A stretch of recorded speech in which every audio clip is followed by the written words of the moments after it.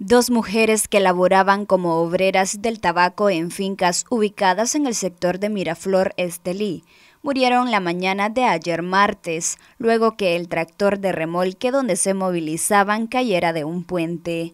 El trágico accidente vial tuvo lugar en la comunidad Las Limas, sobre la carretera a Miraflor en Estelí.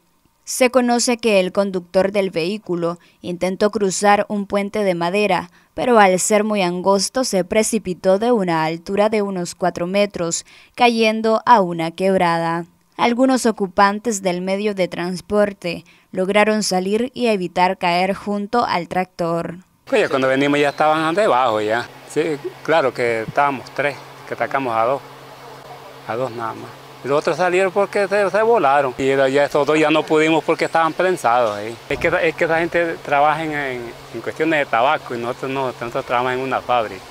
Sí, yo estaba en aquel rincón cuando oí el gran cachimbazo de él, cuando ya había caído encima. Y ahorita que tenía esa barra para despegar a uno. Ya cuando quisimos sacar los otros, ¿qué? ¿Cuándo? Si estaba prensado con el tractor. Las mujeres fallecidas fueron identificadas como Jessica Washington Simeon, de 33 años, y Amparo Sosa Flores, de 55 años. Además, hubo siete personas lesionadas.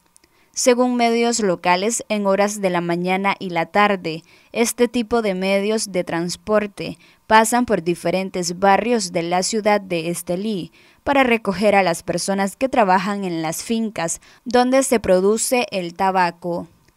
Los accidentes viales no dan tregua en Nicaragua. La Dirección de Tránsito Nacional reportó un aumento considerable en la cifra de accidentes ocurridos en una semana en el país.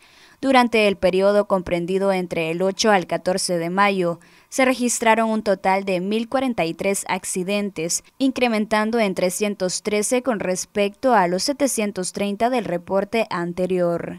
La cifra de fallecidos también incrementó en 5, con un saldo de 22 personas.